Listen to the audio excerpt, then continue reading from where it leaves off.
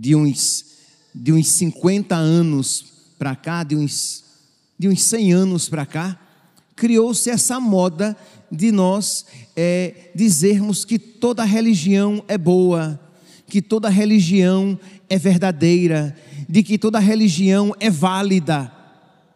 Se isso fosse verdade, São Justino teria sido um bobo, porque tinha morrido em vão. E ele morreu exatamente porque ele não acreditava, como os outros mártires não acreditavam como nenhum cristão nunca acreditou que toda religião é boa, que toda religião é verdadeira, que toda religião é válida. Porque não tem sentido. Pense comigo. Não pode ser verdadeiro esse essa afirmação não pode ser verdadeira, que toda religião é boa, porque toda religião é válida, porque toda religião é verdadeira. Como é que toda religião pode ser verdadeira? Como é que o católico diz que naquele pão e vinho nós iremos receber o corpo e o sangue de Cristo, porque aquele pão e vinho serão transformados em corpo, sangue, alma e divindade de nosso Senhor Jesus Cristo. Os protestantes dizem que apenas é uma metáfora é um símbolo, é uma maneira de nós afetivamente entrarmos em contato com Deus, mas não é que aquele pão e aquele vinho se tornaram o próprio Deus. Ninguém deve, vai dizer qualquer protestante, ninguém deve adorar o pão e o vinho da Santa Ceia. O católico, ele adora porque não é mais pão e vinho, mas corpo, sangue, alma e divindade de nosso Senhor. Como é que essas duas religiões podem ser verdadeiras? Como é que pode ser tão verdadeiro ser protestante e ser católico? Como é que pode ser tão verdadeiro ser cristão católico e você ser budista? O católico vai dizer que nosso Senhor Jesus Cristo é Deus é o Filho de Deus, é a segunda pessoa da Santíssima Trindade.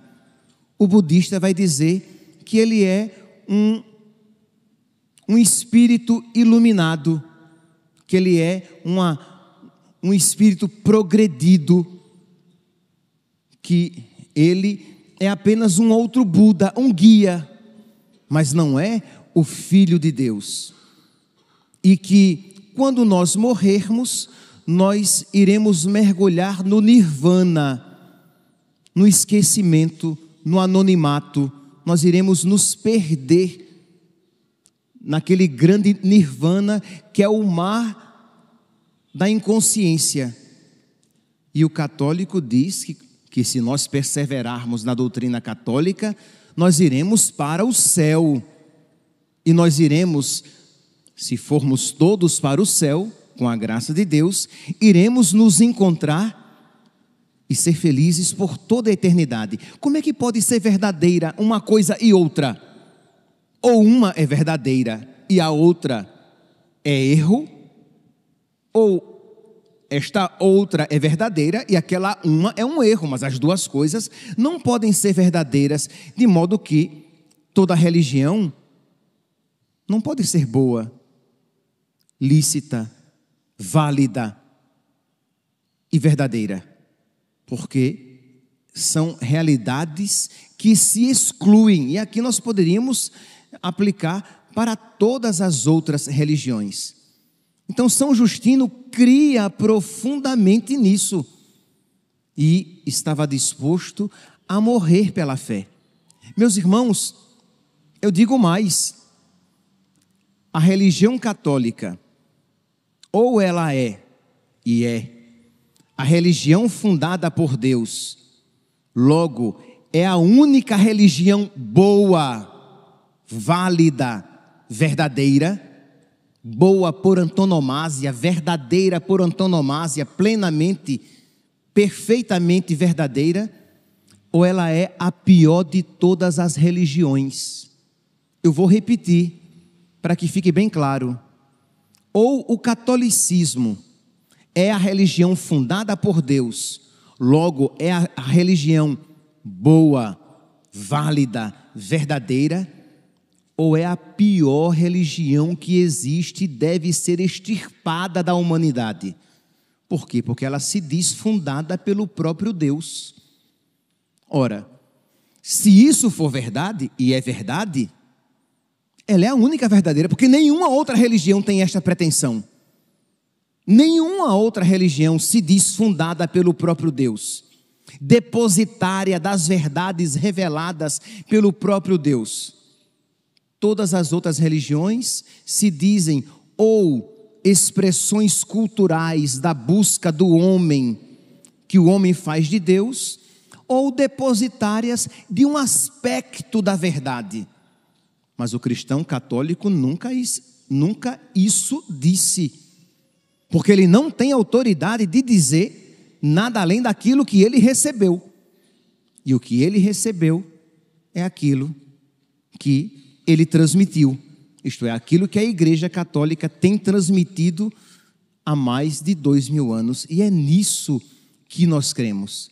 Que o Filho de Deus se encarnou, que ele fundou aqui na terra uma igreja, quando disse: Pedro, tu és pedra, e sobre esta pedra eu edificarei a minha igreja, que nos deixou os sacramentos, que nos deixou as sagradas escrituras e a compreensão por meio da tradição, a compreensão da reta interpretação dessas escrituras, nos deixou o sacerdócio,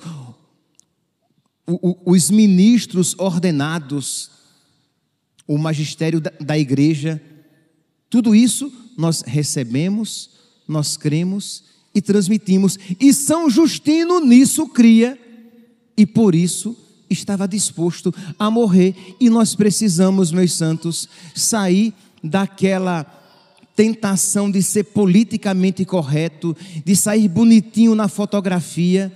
E aí, porque não queremos desagradar a ninguém, nós dizemos o que todo mundo diz e traímos nosso Senhor. Nós dizemos o que todo mundo diz, porque se eu disser diferente, eu serei criticado, eu serei cancelado. Sim, este meu discurso não é bem quisto pelas plataformas digitais, pela internet. É tido como um discurso fundamentalista um, um, um discurso excludente, porque eu excluo as outras religiões. É verdade. Eu excluo as outras religiões porque eu creio profundamente que nosso Senhor quer que nós pertençamos a uma única religião, que nós adoremos a um único Deus e que nós estejamos unidos a um único corpo, ao corpo de Cristo que nós sejamos um só rebanho e tenhamos um só pastor. É esta a nossa fé.